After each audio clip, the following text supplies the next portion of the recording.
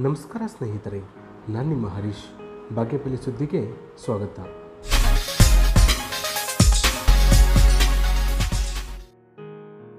ಇತ್ತೀಚಿನ ವರ್ಷಗಳಲ್ಲಿ ಗ್ರಹಣಗಳು ಸಾಮಾನ್ಯವೆನ್ನುವಂತಾಗಿದೆ.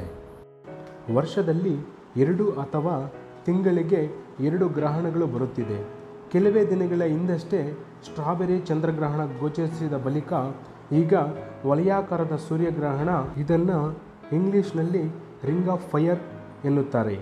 ಗ್ರಹ, ಈ ಗ್ರಹಣವು ಜೂನ್ ಇಪ್ಪತ್ತೊಂದು, ಅಂದರೆ ನಾಳೆ ಗೋಚರಿಸಲಿದೆ. ಇದು ಆಕಾಶದಲ್ಲಿ ಬೆಂಕಿಯ ವೃತ್ತವನ್ನು ನಿರ್ಮಿಸಲಿದೆ. ಎರಡು ಸಾವಿರದ ಇಪ್ಪತ್ತರಲ್ಲಿ ನಡೆಯುವ ಮೊದಲ ಸೂರ್ಯಗ್ರಹಣವು ಇದಾಗಿದ್ದು, ಉತ್ತರ ಭಾರತ, ಏಷ್ಯಾ, ಆಫ್ರಿಕಾ, ಹಿಂದೂ ಮಹಾಸಾಗರ ಮತ್ತು ಪೆಸಿಫಿಕ್ ಸಾಗರದಲ್ಲಿ ಇದು ಗೋಚರಿಸಲಿದೆ.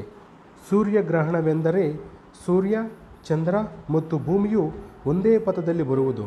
ಚಂದ್ರನು ಸೂರ್ಯನಿಗೆ ಅಡ್ಡವಾಗಿ ಬರುವ ಪರಿಣಾಮವಾಗಿ ಭೂಮಿಯ ಮೇಲ್ಮೈ ಮೇಲೆ ನೆರಳು ಕಾಣಿಸುವುದು.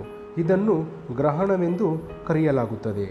ಭಾರತದಲ್ಲಿ ವಲಯಾಕಾರದ ಸೂರ್ಯಗ್ರಹಣವು ಬೆಳಗ್ಗೆ ಒಂಬತ್ತು ಗಂಟೆ ಹದಿನೈದು ನಿಮಿಷಕ್ಕೆ ಪ್ರಾರಂಭವಾಗಿ ಮಧ್ಯಾಹ್ನ ಮೂರು ಗಂಟೆ ನಾಲ್ಕು ನಿಮಿಷಕ್ಕೆ ಮುಕ್ತಾಯವಾಗುವುದು.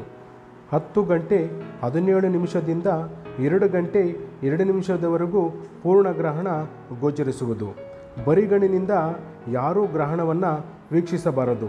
ಇದರಿಂದ ಕಣ್ಣುಗಳಿಗೆ ಹಾನಿಯಾಗುವ ಸಂಭವವಿದೆ.